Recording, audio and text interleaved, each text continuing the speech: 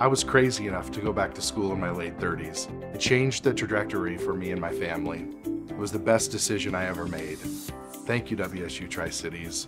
I'm Geoff Schramm. I'm an environmental scientist.